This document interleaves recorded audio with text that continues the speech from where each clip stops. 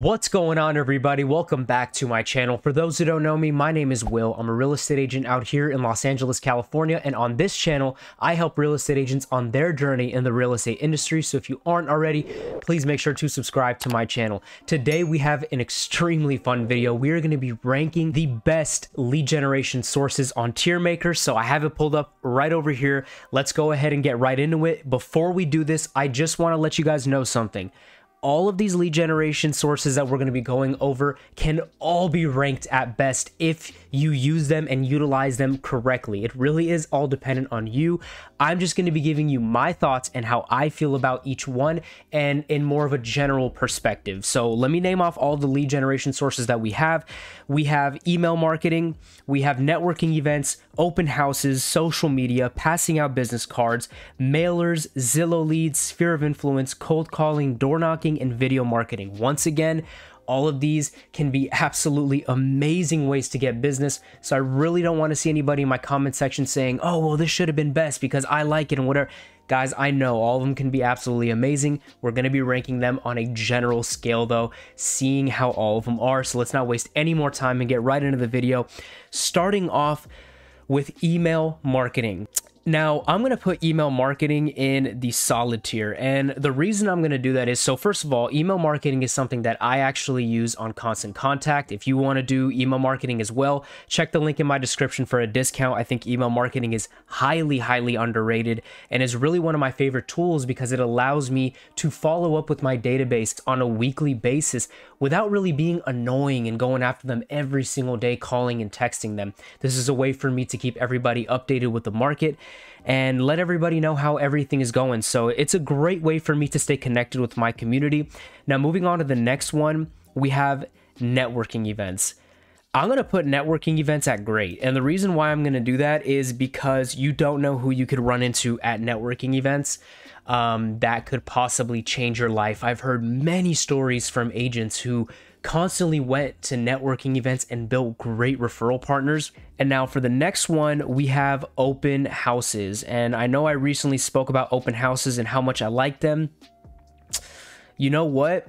I think I'm going to go ahead and put open houses under great as well. I'm, i was really deciding between solid and great, but the reason why I put open houses under great is because, especially for new agents, if you're just getting into the industry, I think this is something that you can do that could really help you get that business at first. You don't need to go up to anybody, you don't need to do anything. So, for all my shy people out there, you know, you don't like cold calling or door knocking or making video content, which you should be, but if you're not going to do that, at least attend open houses because you're going to be able to have great conversations with people who are interested or know somebody who's interested. So I think it's amazing.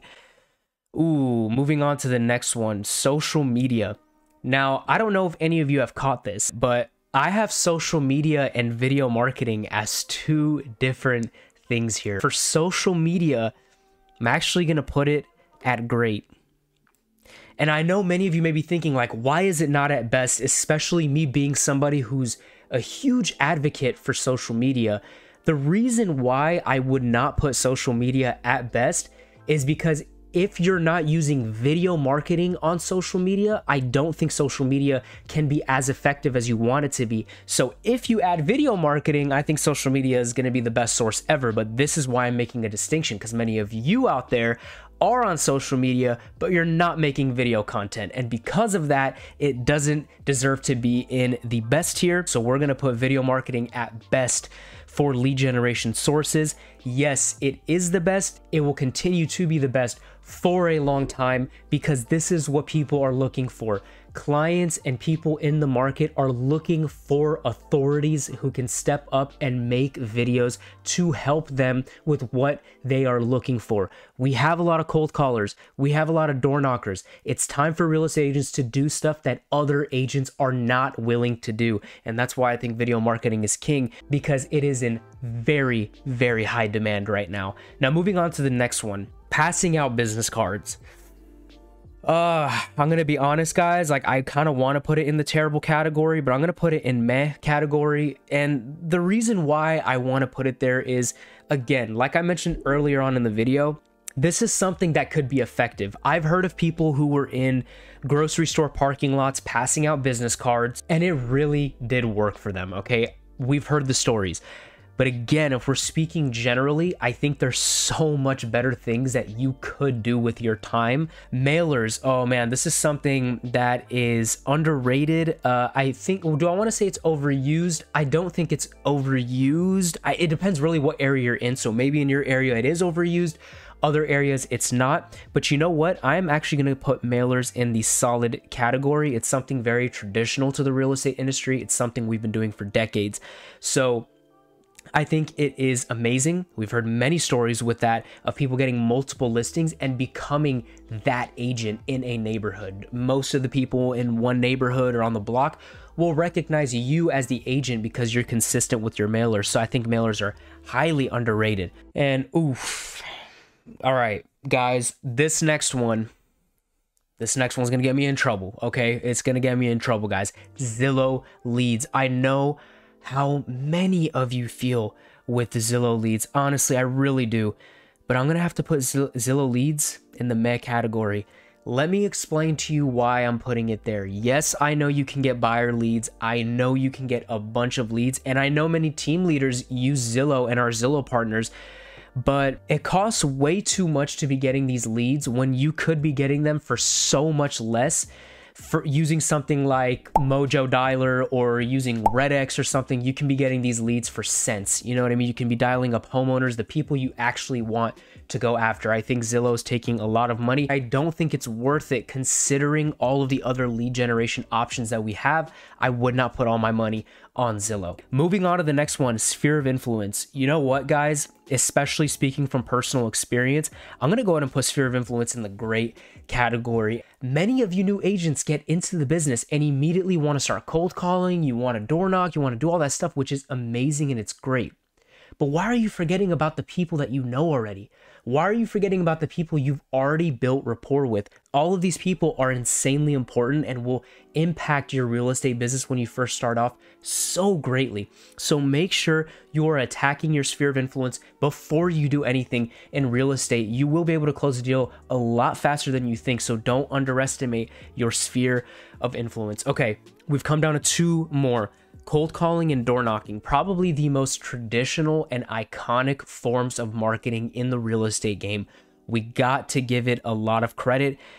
I am actually going to be putting cold calling.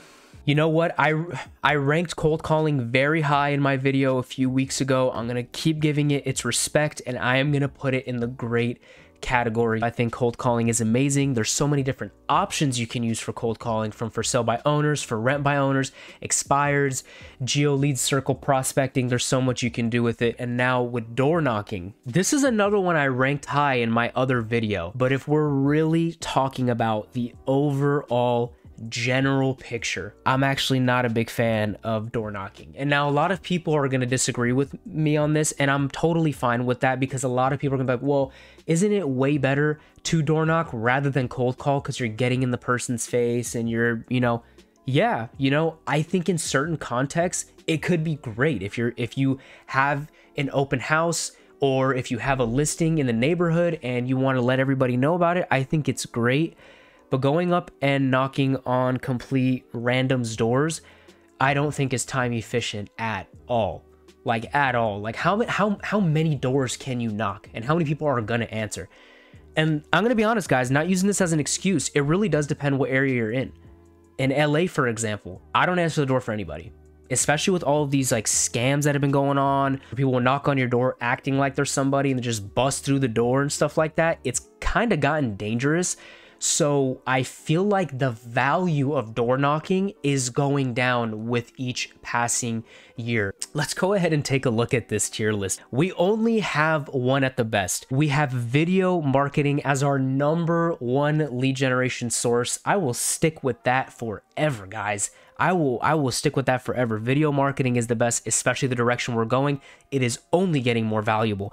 Now at the great category, we have networking events, open houses, social media marketing, sphere of influence, and cold calling. These are so iconic, so amazing, and such life-changing lead generation tools. Now, at the solid tier, we have email marketing, mailers, another iconic form of marketing that is so underrated. Same with door knocking, we spoke a lot about it. Passing out business cards and Zillow leads, I put in the meh category. Well, then we don't have anything in the terrible tier. Um, it's really hard for me to like pinpoint something that would be terrible because really, like I mentioned, anything here could get you a lot of business. So that is my tier ranking. I really hope you enjoyed it. Alrighty guys, let me know down in the comments section below how you feel about this video. Do you think I am wrong about anything? Do you disagree with me on some stuff? Let me know down in the comment section below, respectfully, what you feel about my list and how you feel about these lead generation tools. Make sure to subscribe to my channel, leave a like on the video, leave a comment down below. Follow me on all my social medias. My Instagram, Facebook, and TikTok will all be down in the description box below. Make sure to subscribe to my weekly newsletter. I post those every single Tuesday. But other than that, I hope you all have an amazing day and I will see you all on the next one.